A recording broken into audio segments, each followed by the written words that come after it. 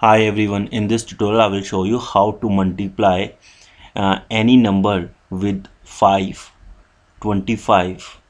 125 or 15 very quickly in your mind without using a calculator. So this approach is very handy when you go to a, a market or you are in exam and uh, you want to do calculations very quickly uh, and if you practice you can remember all these uh, mm, calculations or, or all these concepts in your mind. So let's do the first uh, multiply by 5 so in case of 5 suppose I have a number 22 and I want to multiply it by 5 so all I have to do is divide 22 by 2 that will be 11 and then put a 0 in the end. So that will be my answer. Again let's say I have 86 and I want to multiply it by 5 so all I will do is 86 divided by 2 so that is equal to 43 and then put 0 in the end. So that will be 430 so this is the concept.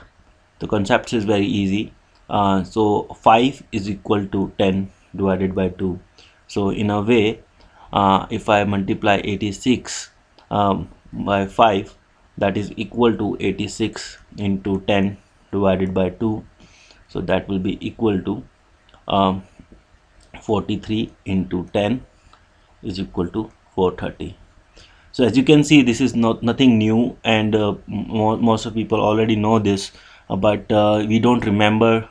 uh, this uh, concepts when we are doing some calculations in the exam or in the market. So it's it's very handy if you remember this kind of uh, concepts. Now let's go to 25 if I have to multiply any number by 25 so we know that 25 is equal to 5 into 5 so instead of dividing by 2 we will divide by 4 so now suppose I have 88 and I want to multiply it by 25 so in this case I will divide 88 by 4 so divide by 4 so that will be equal to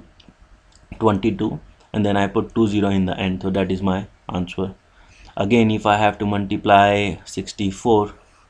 by 25 so that will be equal to 16 because 64 divided by 4 is equal to 16 so we have 1600 as answer. So now uh, let's say I have to multiply any number by 125 so we know that 125 is 5 into 5 into 5 so instead of dividing by uh, 4 we can divide by 5 uh, divide by 8 so now let's take example like if I have 80 so I'm using 80 because it's easier to divide by 8 so if I multiply it by 125 so that will be equal to 80 divided by 8 uh, is 10 and then uh, 3 0 in the end 1 2 3 so that is my uh, answer. So again let's uh, take another example. If I have um, um, 64 so as we know that um, 8 into 8 is 64 so in this case if I multiply by 125 that will be equal to 8 because we divided 64 by 8 and then put 30 in the end. So it will be 8000 and uh, let's take another example 128 by 125 so in this case uh, we know that um, 128 divided by 8 is 16 and then we put 30 in the end. So that is our answer. So um, now let's go to uh, multiplication by 15 so in case of 15 uh, this is a little different. So um, we have suppose we have uh, 64 and want to multiply it by 15 so in this case what I will do is uh, I will take 64 and then I will add 64 divided by 2 to it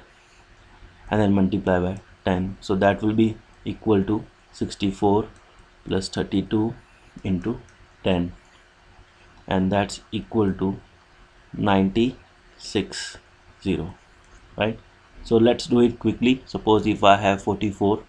and want to multiply by 15 so I know that 44 uh, half of 44 is 22 so that will be equal to 66 and then a 0 so that will be uh, 660 suppose if I want to multiply uh, 22 by 15 so that will be equal to 330 and if you want to multiply um, 66 by 15 that will be equal to 99 and 0 so as you can see I'm, I'm using a simple numbers but you can always go to complicated numbers and do same kind of calculations. So I hope uh, this tutorial will help. And uh, I know this is uh, uh just a concept um, but if you uh, use this concept you will slowly get used to them. And then you will be able to find that you can do calculations very easily uh, without using any kind of gadgets or um, and that can uh, improve your efficiency in day-to-day -day life and even for the examinations. So thank you